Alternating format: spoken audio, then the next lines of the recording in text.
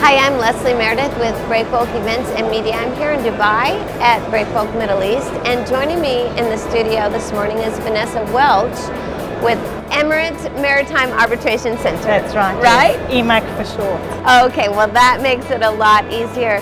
Vanessa, so tell us about EMAC. What is it that that you do in this industry? Well, um, the Emirates Maritime Arbitration Centre was established in 2016 after a call from the maritime industry in the region for an arbitration centre that is local.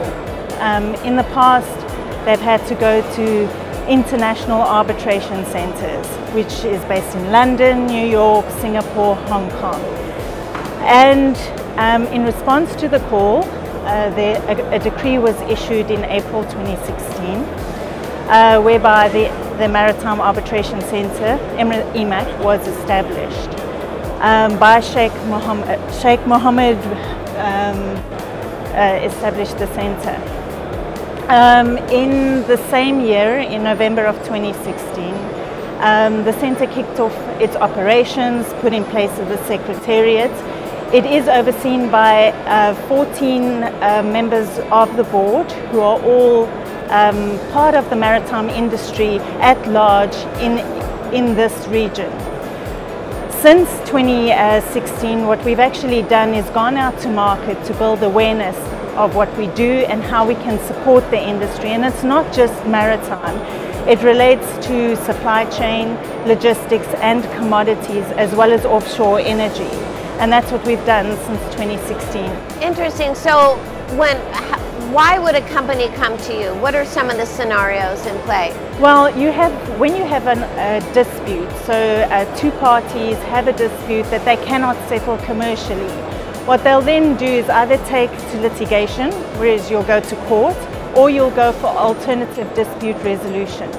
So in the alternative dispute resolution, you have very, various mechanisms. One is arbitration, where your judge is actually qualified and, and understands the merits of the case and you choose your judge.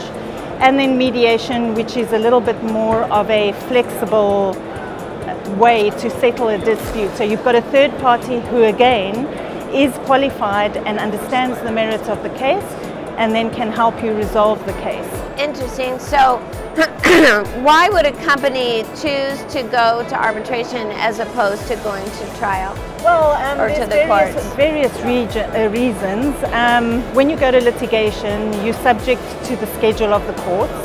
When you go to arbitration, you have a set of rules and it allows for uh, uh, an element of flexibility. So you can dictate the timelines, you, you choose your judge again. Um, it's also said to be a lot more cost effective, but that depends on the time frames because you still have to hire lawyers and pay those fees. But in terms of arbitration, it's a more flexible process. Now with arbitration, you can enforce, the, once the award is issued, it, it's enforceable in any one of the New, uh, New York Convention states. So it doesn't necessarily need to be enforced here. If it's a New York state um, that you would like to enforce the award at, so if the assets are somewhere else and the country is party to the New York Convention, then you can go and enforce the award elsewhere. Oh, that's interesting. That's certainly an advantage. Um, tell me, Vanessa, you're obviously a um, well-known businesswoman here. Uh, what, what has that experience been like for you? Um, I work in an organization that is um, funded by the government. What I do find about uh, with the UAE government as such is there's equal opportunity. There is no judgment as to your gender. If you can do or if you can do the job, you you are awarded um, the role. It's not a case of whether you are a woman or a man. It's what qualifications you have. My personal view on uh, women working in within this industry specifically is that there's a lack of knowledge as to how they can contribute in the industry. In maritime, for instance, when I've spoken to a lot of women, um, they've said that maritime is too technical. But some of the best lawyers, some of the best maritime economists work specifically for this industry.